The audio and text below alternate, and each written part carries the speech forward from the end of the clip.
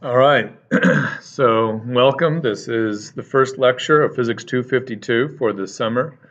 Um, we are going to do the lectures this way. I'm going to present the content in one, the content in one video, maybe two, uh, possibly sometimes three uh, videos per chapter, and then there will be a separate video for uh, homework help problems. So.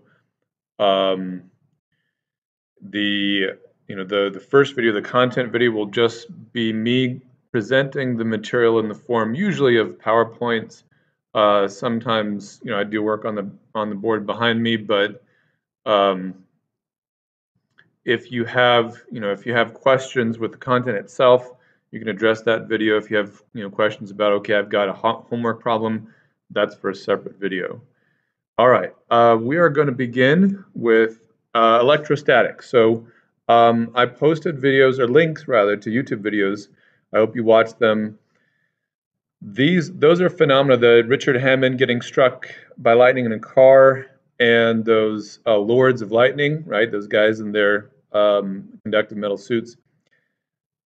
I like to start with uh, each chapter and topic with things that we want to understand. Like, why is it uh, that Richard Hammond was safe. Why are those guys okay? I mean, you know, 800,000 volts with plenty of current. Uh, we'll see that the voltage by itself will, of course, define what voltage is in this class, uh, but we'll see that voltage by itself is not what kills you. It's a voltage, the combination of voltage and current.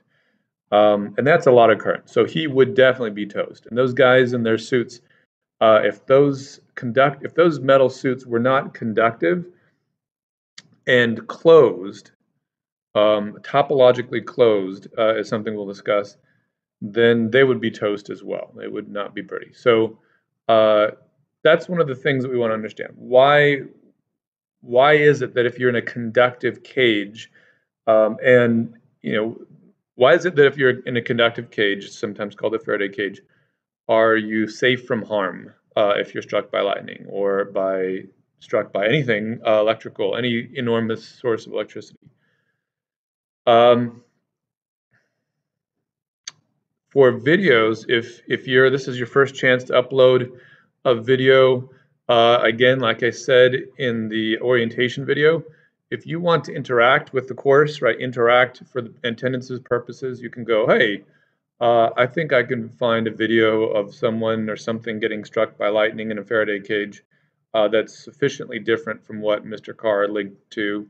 I'm going to go ahead and pull that up, you know, if I can't um, interact with the course in seven days. So that's one one option for um, it's one option for attendance. Okay, so that's things like that are what we want to try to understand.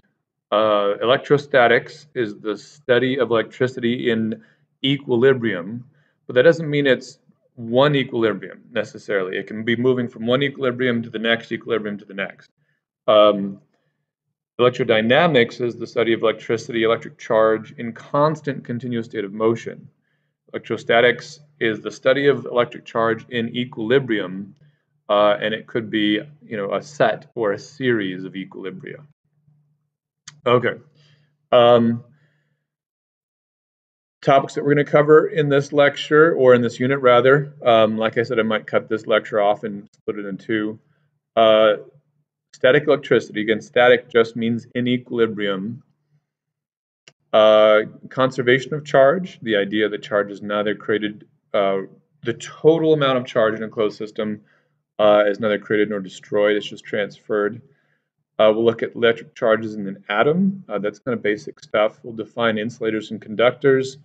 Uh, we will talk about uh, charge induction, how to induce charge and using an electroscope to measure that.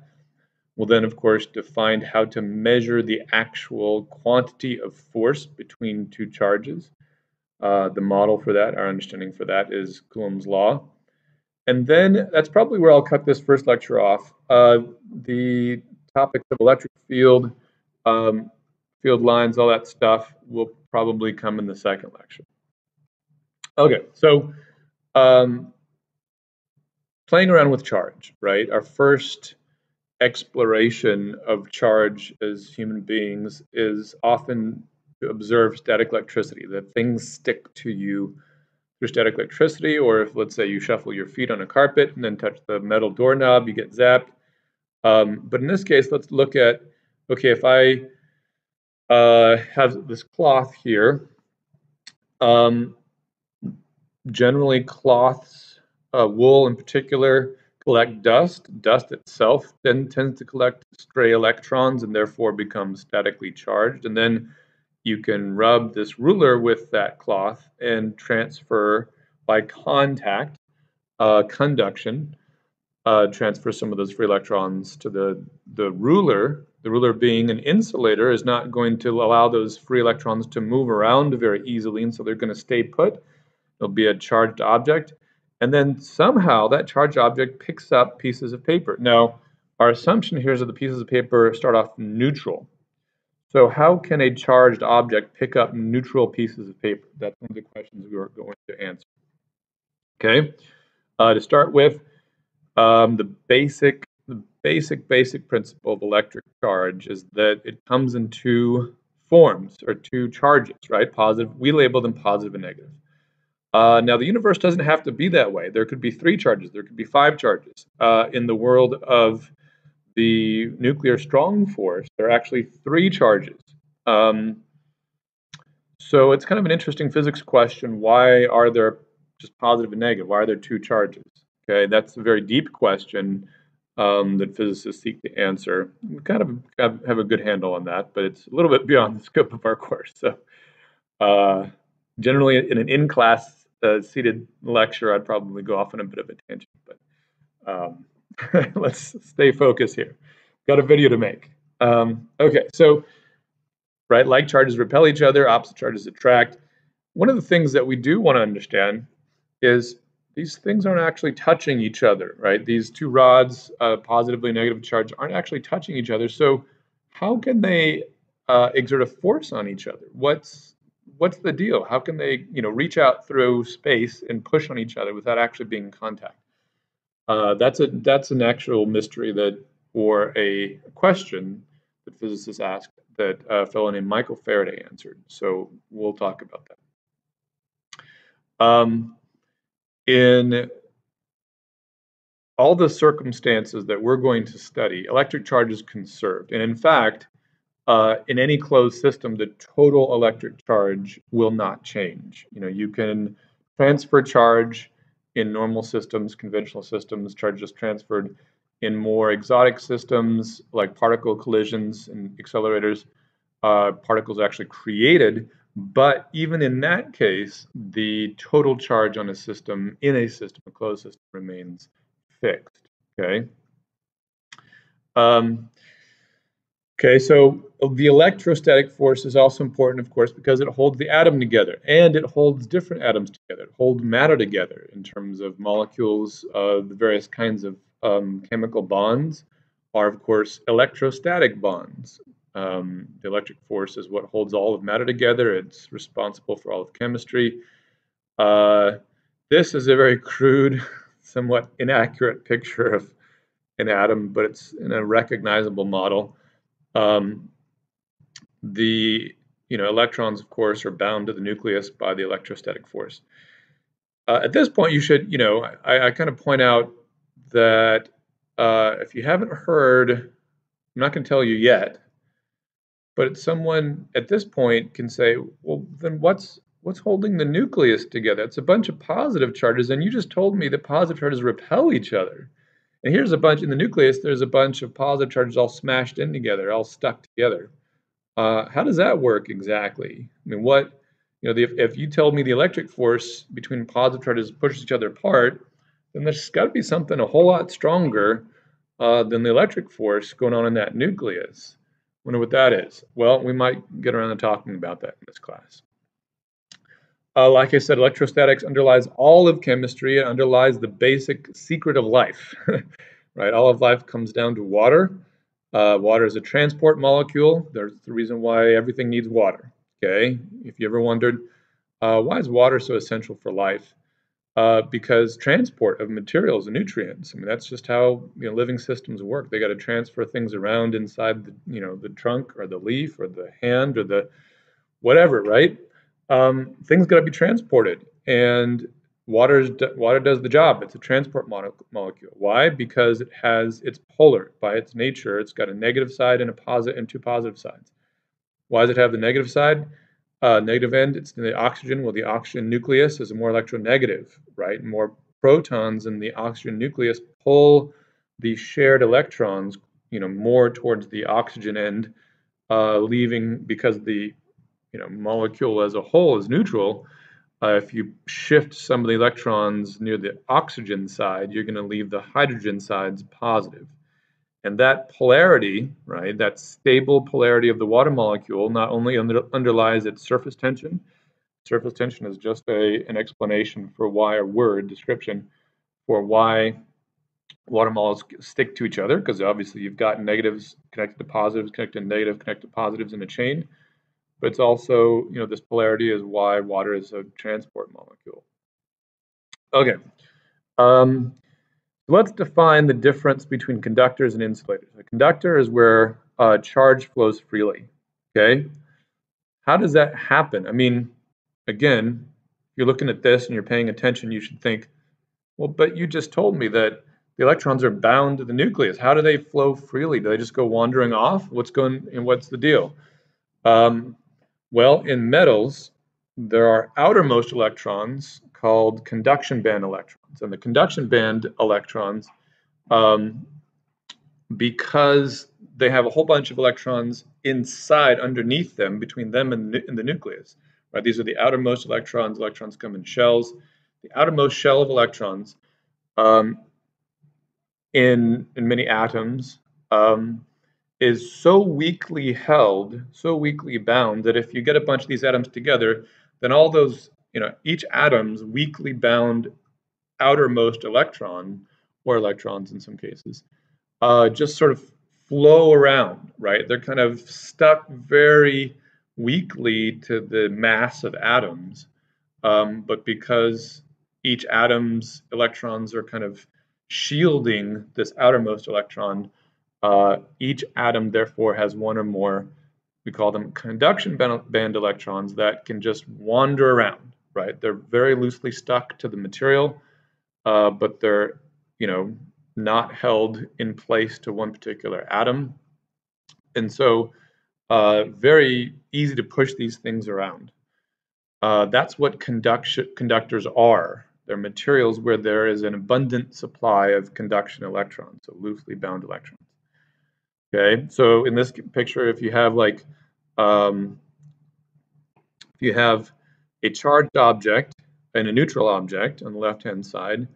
Uh, you put a metal between them uh, because charges can flow freely through the bulk of the metal, and, and, as we'll see, they actually end up flowing only on the surface. They could flow uh, through the bulk if we drove them, but they end up flowing by themselves if we leave them to flow only on the surface.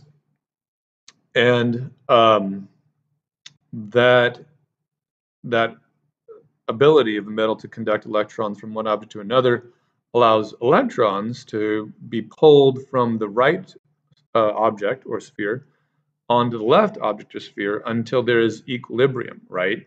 They don't just keep going because obviously the left object becomes more negative, it's going to push back. So uh, e electrostatic equilibrium is achieved because this conductor allows electrons to flow from the right object to the left. Uh, wood doesn't happen with wood, obviously, because even though there's there's an imbalance of charge, uh, wood is a non-conductor. What is a non-conductor? It means all the electrons in the material are tightly bound, uh, which means if you try to push an electron through them, through the material, it won't go. It won't, you know, cause this domino effect where you know you push it on and then it you know moves all the way through, um, or kind of a daisy chain. Each one pushes the next. Um, if electrons are tightly bound, then they stay put. And if they stay put, then the electrons can go through, which means uh, you can have these two electrostatically imbalanced objects um, in contact through an insulator. All right.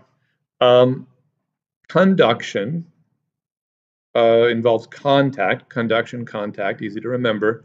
Uh, if you have a neutral metal rod conductor now, and you take a charged object like a positively charged rod, uh, like there in the homework, there is, I just posted the two homeworks by the way, in case you didn't notice. They're on mastering physics. Um, in the homework, there's an example of this, some practice problems that you can look at. Uh, electrons, uh, if I bring a positively charged metal rod and I make contact with the neutral metal rod, uh, electrons will be pulled off of the neutral metal rod because they're conducting, they can move easily until electrostatic equilibrium is reached, right? And there's a positive charge, a balance of positive charge. Now, the amount of positive charge isn't necessarily the same. It is, as we'll see, uh, something called the electric potential, otherwise known as voltage, that is the same. Um, but that's coming up.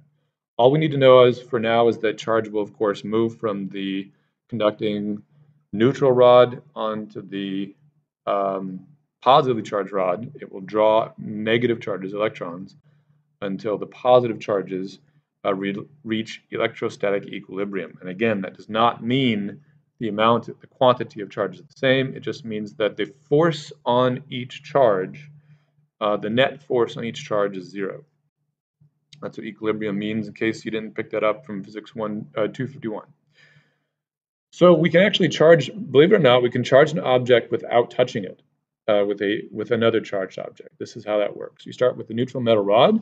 Uh, you induce separation, polarization, it's called induced polarization, by bringing a positively charged rod near to but not touching the neutral metal rod. It separates the charge, pushes positives away. Um, actually, since the positives don't actually move, it pulls the negatives towards the positive. So you're separating them. And then if somehow you can get rid of or neutralize one end of this rod, uh, then you will leave that rod with a net charge, even though you haven't touched it. So how do we neutralize it? We connect it to ground. Okay, now ground is not technically touching it with the charged object. What is ground? Ground, uh, we use the word ground because the actual ground is like this, but the word in electrostatics, the word ground means an infinite reservoir of neutrality, right? Um, an infinite source or sink of charge so as to ensure that the object remains net neutral in general. Okay, so what does that look like? It, it just means that if we have this uh, neutral rod connected to ground, those three lines mean ground, uh, we bring a negatively charged rod near it, it will push electrons into ground. Right? Electrons are the ones that move. Uh, so electrons on this thing are pushed away from electrons here um, on this rod, the negatively charged rod, the electrons leave. And then if you cut the connection to ground, you isolate this thing, well, it's lost electrons. They got pushed off. And so now it's acquired a net positive charge, even though the only thing it has actually been in contact with is a neutral ground, it is now positively charged. Okay. All right. Um, so that's that's what goes on conductors. Non-conductors can be affected by charge, and this explains the aluminum rod, aluminum can and charge rod video, which you should watch. It's a practice um, problem on your homework, but you definitely need to watch that. I'm going to be referring to it. Um, so non-conductors are affected by charged objects, uh, just less so, in a similar fashion, but less so. So non-conductor, right, these electrons um, these circles represent the atoms, the neutral atoms. They start off neutral. And then the electrons are drawn towards the positively charged object, but they can't leave. They're, it's, this is a non-conductor, so they're tightly bound, uh, but they just sort of drift a little, right? They still feel the force, so they're sort of pulled, these negative charges are pulled towards the positively charged rod, uh, therefore sort of uh, separating, in a sense, polarizing each atom. Okay, so the total charge in each sort of gray circle here is still zero, but the charge is kind of separated. Now, of course, if you have uh, negative charges that are just a little bit, right, little bit closer to these positive charges in the rod, you're going to have an attractive force. It's going to be very weak, but it will still be there, an attractive force. Okay, that's how, for example, imagine uh, you've got a charged balloon, right? Uh, you rub a, you charge a balloon and then you stick it to your shirt. How do, how does the balloon, which has the charge, the rubber is non-conductor, so it like the charge gets stuck to it. But you can then take the charged balloon and stick it to anything, right? Wall, shirt, okay? How does that work? Well, the charged balloon is like this charge rod, and then the wall, is like the non-conductor. Uh, there's this polar induced polarization that occurs, and then a, a weak attractive force. Okay. Um, I haven't posted one yet. It's going to be late. We're already one day behind schedule. That's life. We'll deal with it. We'll probably try to get caught up as soon as we can. But um, I've got an electroscope lab where we qualitatively assess the uh, the presence of static electric charge and the behavior of static electric charge uh, a device like this. Looks like, a little bit like this. Ours are more modern. But uh, you've got this um, metal ball connected with a conducting metal rod or post to two gold leaves, which are also conducting. Gold is the second best, uh, the second best elemental conductor. If I deposit positive charge on this metal sphere, it's free to migrate down onto leaves. But since the same charge is migrating to both of the leaves, uh, the leaves are like charge and they repel each other. So when the leaves repel, uh, that indicates the presence of charge. And the amount by which the leaves repel indicate the amount of charge. Again, it's a qualitative assessment. You can't um, take a, make a quantitative assessment uh, with a device like this. So for example, right, you take some positive charge, uh, you can induce, so the electroscope starts off neutral, you induce uh, polarization in the electroscope um, where the positively charged object draws electrons up off the leaves. The leaves then each have a positive charge and repel each other. If you then make contact, so that's induction on the left. Conduction, you're making contact, uh, you're actually pulling electrons off of, rather than just pushing them up towards the top of the sphere, you're pulling electrons off of the object into the rod. Uh, the, and then if you take the rod away, the uh, deflection in the right-hand case will persist, permanent.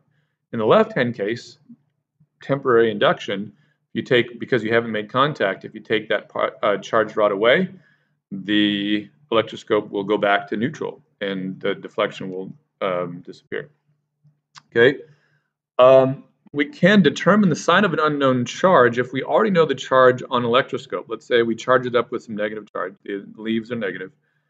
Uh, if we take another negatively charged object and bring it close to but not touching, right, this is induction, the electroscope, well, it's going to push even more electrons down onto the leaves and the deflection will become even greater. If, however, we bring a positively charged object near to the electroscope, it will pull up, draw negative charges up off the leaves towards the sphere, and then the deflection of the leaves, because they lost their uh, sum of, of, their charge, the deflection will decrease. Okay, so Coulomb's law, um, the we've got you know everything that we've talked about so far is qualitative, right? Um, the behavior of charge can be assessed qualitative, qualitatively with an electroscope. The amount of charge can be assessed qualitatively, but not good enough, obviously. We need to be able to predict exactly the force in newtons between any two charge objects. And that's what uh, Coulomb's law is all about. Okay, Coulomb's law says, uh, at first was empirical, and then we kind of got a theoretical handle on this, but it says that the force, let's go back here and just read it, and then we'll look at the equation. The force between two charges is proportional to the product of the charges and inversely proportional to the distance between them, to the square of the distance between them, more precisely. So looks like this, um, right? K is some constant. We'll define that in a second. The force between two charges, the magnitude of the force between two charges is some constant K times the magnitude of each charge divided by the square of the distance between them. R is the distance between the two charges. And this is a magnitude. Force is a vector, uh, but of course the direction of the force vector is either toward between towards each charge towards each other or on each charge away from each other. We already sort of figured that out. Right? So uh, the direction comes from the sign, comes from assessing the sign. Uh, the magnitude comes from that equation. Okay, Um, so you can have repulsive forces even though you've got two positive charges. You can have repulsive forces even though you have two negative charges. So keep in mind, when you use this equation, it's a magnitude. You cannot, this equation cannot be negative, okay? When you put in the mag, the Q1 and Q2, those are magnitudes, so that you get a magnitude of force. And then uh, you choose a coordinate system. Relative to your coordinate system, the resulting force uh, based on the sign of the charges will either have a positive or negative sign relative to your coordinate system. Okay. Do not let this equation determine the sign, positive or negative of your force. It's a magnitude. Uh, Coulomb's constant, pretty big number. Okay, I'm in my examples uh, and in the book, as well as in uh, the homework problems. If you use nine times 10 to the ninth, it's easy to remember, right? Nine times 10 to the ninth, two nines. Um, you're going to get all the problems right. Okay, the actual value is differs from nine times 10 to the ninth by a very small amount. So uh, I just use nine times 10 to the ninth. That's a big number. Okay, 10 to the ninth, that's a billion. Right, 10 to the sixth is a million. 10 to the ninth is a billion. Nine billion newtons, uh, newton meters squared per coulomb squared. What does that mean? it means if I have one coulomb in my left hand and one coulomb in my right hand, and my you know hands are about a meter apart, one one divided by one, okay. The only thing left in that equation is is the constant k. One coulomb of charge in my left hand, one coulomb of charge in my right hand experiences nine billion newtons of force. Nine billion newtons of force, folks. That's like on the order of less than, somewhat less than two billion pounds of force. A lot of force, okay? The electrostatic force is extremely strong. Very strong forces uh, bind molecules together. That's why we get all this energy released when we have chemical reactions. Um, the amount of charges that we normally deal with uh, in electrostatic situations on the orders of millions of a coulomb, right? The micro one microcoulomb is 10 to the negative 6 one millionth of a coulomb. So you might be thinking, coulomb's is a lot of charge then, right? Well, uh, yes and no. I mean, like I said, static electricity doesn't really accumulate on the order of coulombs generally, because if it did, we'd have 9 billion newtons of force. Um, but in terms of moving charge, we move coulombs of charge around all the time. One coulomb of charge moving through a circuit per second is called an amp, one amp. And uh, your cell phone charger usually most cell phone chargers uh, run on anywhere between 1 and 2 amps. So 1 and 2 amps of charge, coulombs, moving through your cell phone charger per second. Now, why doesn't it rip it apart? Because positive charges go one way, negative charges go the other way. The whole system remains neutral. But my point is, uh, one coulomb of charge uh, is something that we deal with all the time, just not in isolation. If we did, if we had one coulomb of charge in isolation, uh, it would it would have the equivalent force of an in, immense detonation. It would just rip things apart. Okay. Um, qualified slide here. So charging the electron is a very small amount in terms of coulombs, 1 times 1.602 times 10 to the negative 19th. Again, sometimes if I'm being uh, if I'm doing an estimate, which ends up being pretty close, uh, I just use 1.6 times 10 to the negative 19th. Okay, very very small. It's a lot of zeros before the. if you convert this to coulombs, right? It's uh, 0.18 zeros and then 1602. So, uh, so yeah, that's you know that just happens to be a, a convenient unit of charge. Um, for most purposes, right? For in the world of chemistry, for example, charge is quantized in units of the electron charge. Um, so for stable matter, okay, stable matter, all charge comes in units of electrons, right? Electron units. So the proton is one unit of positive charge, and then the electron is one equal unit of negative charge. Why is this false uh, in general, though? I mean, it's true in stable matter, but in particle colliders, we can rip the actual proton apart. The proton is not a fundamental particle. The electron is, as far as we know, but the proton is a composite particle. Okay, uh, it's made of quarks, and each quark has a fraction of one unit of charge. So one, some quarks have one third, some other quarks have two thirds. Okay, so uh, you'll see you'll see in your book. Sorry, I gotta silence my phone. Uh, you'll see in your book that um, the force Coulomb force is written this way. We're not going to talk about this quite yet. It's a it's just a different way of writing the constant, the force constant. Because why is this important? Uh, you could ask, why is the force that strong? Where does that strength come from? Well, that's a deeper question again that relates to electric fields, and we're going to get to that. So um, this constant epsilon naught called the permittivity of free, free space, uh, I'll tell you now, it's just a measure of uh, how easily electric fields spread through space. And that doesn't make sense at first if we haven't talked about electric fields, but we'll get there. Okay, so uh, you need to be able to do the examples in the book. I'm not going to do the examples in the book for you. I might do some of the homework problems, but uh, in terms of conceptual examples, every example in the book, right, every single one is uh, solved for you. So I'm not going to do it because I don't need to because it's been already been done. Okay, so these examples you need to work through. I'm going to assume you can do this stuff. Uh, so take a look at the book.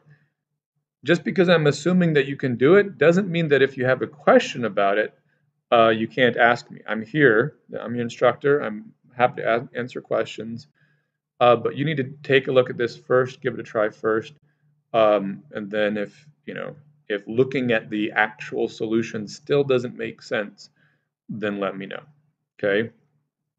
All right. So uh, your job is to do the examples, all these examples, okay, um, in the book for electrostatics. We're going to stop with electric field for this video and then take a look, once you've done the examples, take a look at the homework problems, do uh, the homework problems. The last two problems are kind of challenging, um, so give those a try first, and then I'll probably you know record a video, a help video or a hint video for the last two problems. So again, I'm referring to homework chapter, the chapter 22 homework part one. All right, folks, uh, let me know whatever questions you've got, and I'll see you in the next video.